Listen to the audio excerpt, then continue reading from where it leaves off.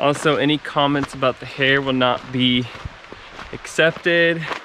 We ain't got no glam squad out here, y'all. One thing you should expect though is this hair is about to be gone. We're about to close it out. out, out, out. It's Super Bowl Sunday, everybody. Cheers. Okay, James. I think it's funny to show some of them like this. Or me doing something like this in the van just because I don't know, I think when everyone's probably wondering what I'm up to or like I don't know, thinking about me doing van life, it's always just probably a hike or I don't know, just exploring. But it's funny for me to like be in the van and doing something that everyone else is doing, but I have to do it in this way. Um, so yeah, Super Bowl Sunday. I'm excited to see Rihanna. I just watched like a Flash trailer, The Flash, and I was like, ain't that boy in jail? No. but yeah, I got like a little, I got like a little spread here to celebrate. We got some shrimp ceviche, some guacamole, and this little root beer soda type thing. Just trying to chill and bootleg as much of the game as I can. It's the little things, right? Just saying. Okay, so I wanted to show you guys how I recharge or like what my setup is for recharging the battery. So, you know, I got the big battery that kind of powers everything, the lights, my laptop, my phone overnight.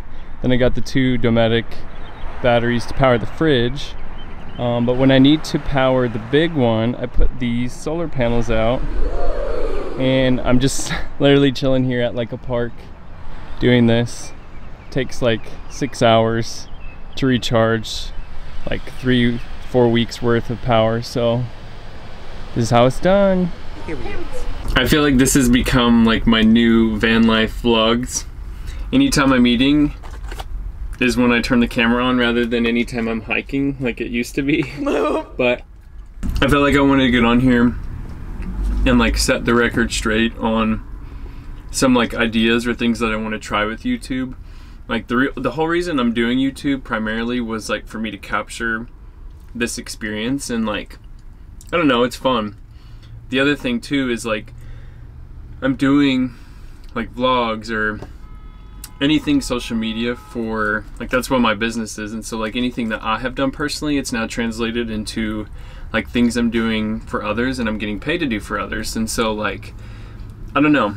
The more I do or if I have any interest in doing something like I might as well do it because it gets me somewhere. Basically, I feel like I need to start making some things to enter into a new space, but like I have to be the vessel for me to learn that because I don't have anyone else that's teaching me some of these things. So we'll see.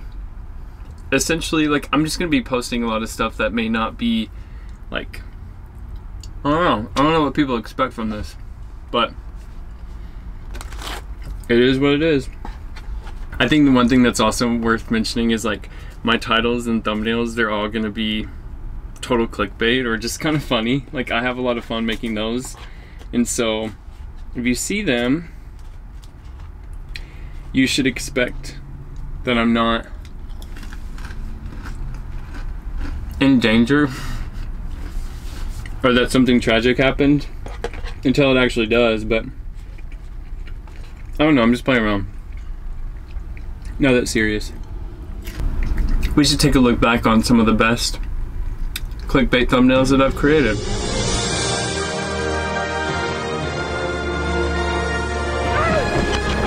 Oh yeah, just a couple superficial scrapes.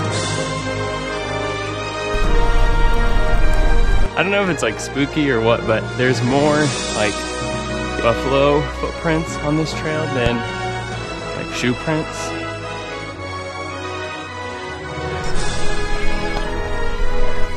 I think I'm not going now. This is just too hard.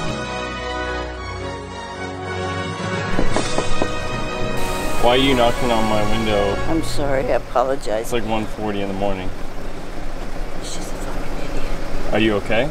They took my phone. I couldn't call the state patrol. My sister and my niece. Okay.